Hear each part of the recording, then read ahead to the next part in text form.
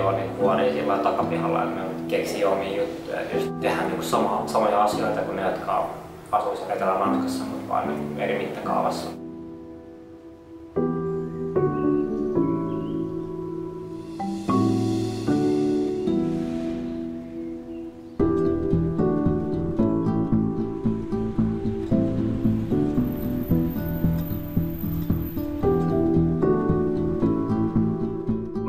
Aloitin kiipeilyn 13-vuotiaana ja nyt mä oon 24-vuotias ja tota, mä oikeastaan niin täyspäiväisesti teen kaikkeen kiipeilyyn liittyen. Niin mä teen reittejä ja, ja matkustelen, käyn kisoissa ja niin, treenaan oikeastaan koko ajan.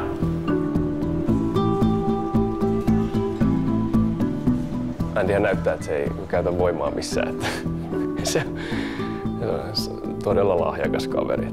Ihailen sen tyyliä kyllä. Kaveri voi olla ihan pumpussa ja näyttää, että ei ole mitään hätää. Voima on helppo kehittää, mutta tekniikka on yllättävän vaikea kehittää. Andillä se on valmiina, niin voi keskittyä voimaan.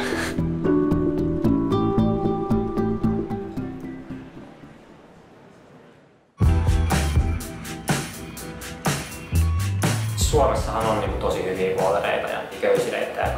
Ne on niin sellaisia jalokiviä tavallaan siellä sun täällä. Se, että sä haluat kiivetä kovempaa, niin tarkoittaa, että sun pitää matkustaa. Eli sun pitää mennä jonnekin niin muualle kokeilemaan niitä rajoja. Oikeastaan se grade on noussut nummessa aina. Sanotaan sieltä niin 7B plussasta sinne 8A plus, 8B on tullut kaikki siellä. Niin kuin. Kaikki on tullut nummeen Suomen ensimmäistä. Synkro, joka on niin tällä hetkellä Suomen vaikea reitti, noin 8C tai 8C plussa.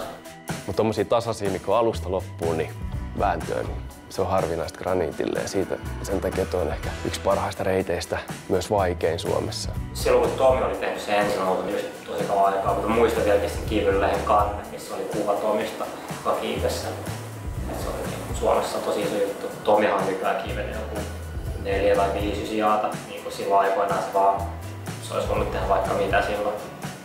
Se olisi voinut kiivetä 9 A, 9 A plussankin silloin siihen samoihin aikoihin ihan varmasti, jos se olisi vaan kokenut. Et vähemmän mä ehkä harjoittele nykyään kuin ennen. Silti mä oon kivennyt voimat reitti viimeisen viiden vuoden aikana, vaikka mä oon harjoitellut varmaan 50 prosenttia vähemmän. Se on hassu, hassu laji tämä kiipeily, että se ei ole aina vaan siitä treenimäärästä kiinni, tai se on aika paljon päästä kiinni myös. Miten mä voisin kehittyä paremmaksi kiipeilijäksi on kiivetä Tomin kanssa. Mun mielestä se itse haaste, oli se sitten grade mikä tahansa, niin mun mielestä on se hienon osasta kiipeilyä. Yrittää kovaa, epäonnistuu ja sitten kokeilee siihen asti, kunnes onnistuu tai ei. Kiivetä mahdollisimman kovaa tai niinku katsoa, mihin, mihin mä pystyn. Et mä, musta tuntuu, että mä en vieläkään tiedä, että mikä mun niinku limitti on.